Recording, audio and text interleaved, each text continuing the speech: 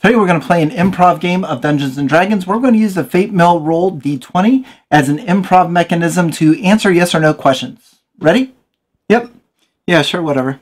As you delve deeper into this dungeon, your torchlight casts eerie shadows along the wall. You enter an old, creepy chamber, and inside of this chamber, you're going to find a treasure chest.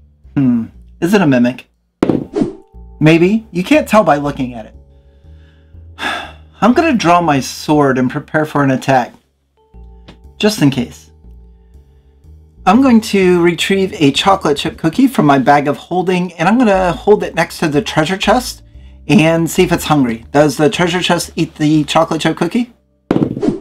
No, the chest isn't hungry, but Nick's sword seems to be very interested in the cookie. Wait, what? My sword is a mimic? Why didn't you tell me? well, mimics really aren't known for their conversational skills. Is the mimic sword hostile towards us?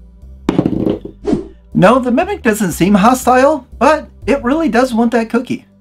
Well, in that case, I'm going to share my cookie with it. You share the chocolate chip cookie, and the mimic seems delighted. I want to check out this treasure chest. Is it trapped? No, the chest isn't trapped, but you do see some strange markings on it. It seems like some type of goblin graffiti. I'm going to open it very cautiously. Um, is there gold inside? Yes, actually there is. You open the chest to find a large pile of coins and a few gemstones and a pair of mismatched socks. One polka dot and one striped. I'm definitely keeping these socks. These are really cool. Nice, that's an impressive haul. Is there anything else left in the chest? Yes, there is. There's actually a silver tankard that's also in the chest. I grabbed the tankard. Is it magical? No, it doesn't seem to be, but as you pick up the tankard, it bites you. It's actually a mimic.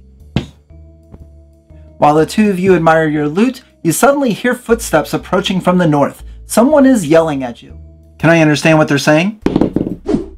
Yes, they're speaking Goblin. There's three of them, and the leader is shouting in Goblin, Them! They're stealing our treasure! Get them! What do you do? Okay, I'm going to try to defuse the situation. I'm going to raise my hands so they know that I'm not a threat, and I'm going to say to them in Goblin, I didn't know that these socks are yours. Surely we can talk this out peacefully.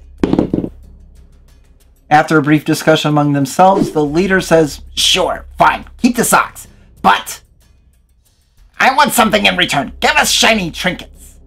Do they want this mimic tankard? Yes, they do. They take the silver tankard and retreat down the northern corridor. And after a few moments, you hear someone shouting in Goblin, It's a mimic! That was close. Well done on that, Nick.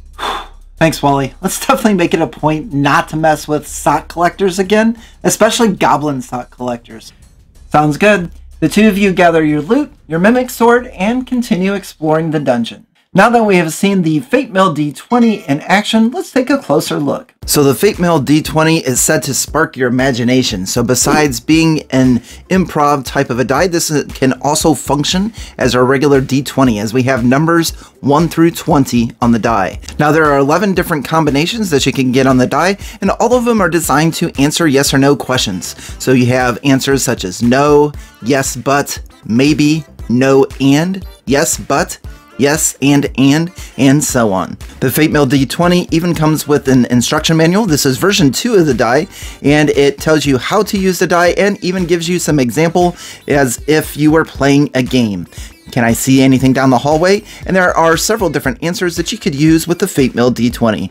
So when your players ask you a question, using the Fate Mill D20 and rolling it is going to be a great way to improv a game, or if you're playing a solo adventure, you can do that as well. And in a solo game, your Dungeon Master is going to be the Fate Mill D20. Now the Fate Mill D20 is a 35mm die, so it's going to be a lot bigger than your normal Dungeons & Dragons 20-sided dice. Now there was an original version that was a little bit smaller, and there are only some of the misprints left, and Elton was kind enough to send me one of the misprints, so I will definitely add this to my collection.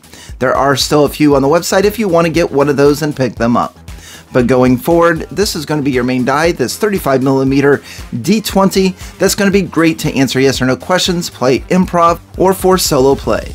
And of course, if you'd like to get the Fate Mill D20 from Tower House Creative for yourself, I'll put links in the description below. When you do receive this, you're going to receive a package that's going to include quite a few different things.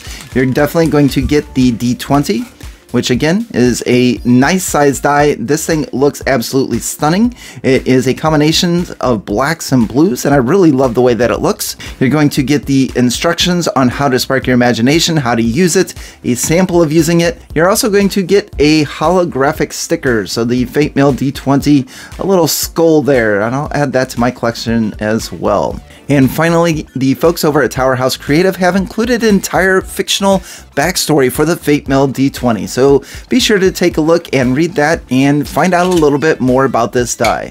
So I guess only one question remains. Do I add the Fate Mill D20 to my Dungeon Master Toolkit? The answer is yes, and I'm super excited about it. Thank you very much for watching, and on to the next.